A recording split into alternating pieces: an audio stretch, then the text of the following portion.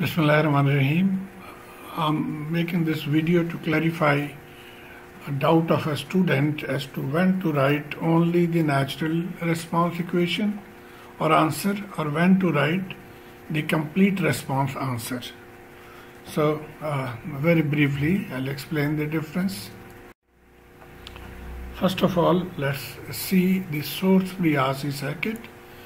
And the source-free RC circuit uh, is that circuit which has no external source of excitation after t greater than 0 and in this case we just write the natural equation which is in this form v naught e raised to the power minus t over tau. So let's see this circuit. Now there is no source present in this circuit so therefore this is a source free circuit and its answer will be something of this pattern.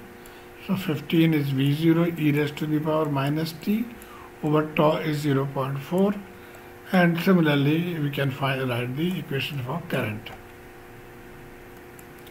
Here is another one. In this there is a source but at t equal to 0 this source is removed. So now this circuit is left. So again at t greater than 0 the circuit does not have any source and therefore this will be uh, the uh, transient response or the natural response equation. So the answer will be something like this. Now let's see in the circuit with source which we call the step response of a RC circuit and in the step response uh, we write the complete response that is we write the natural response and also the forced response solution.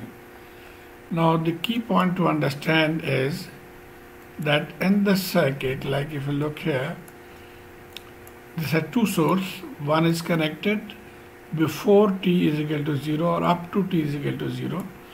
But after t greater than 0, the circuit, this circuit, this portion only, this still has a source. So any circuit which has a source left in that after t greater than 0 in that case we'll write the complete response which will include the natural response which is called Vn or also called V transient and the forced response is called V final or also called V steady state. And so the answer will look something like this. A source is present. That is the only key you have to keep in mind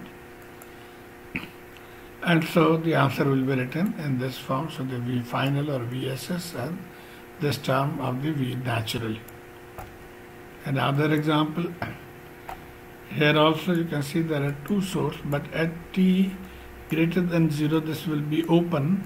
So only this portion is left as shown here. This portion is left but this also has a source present after t greater than 0 and therefore this answer will also be written in this complete response form.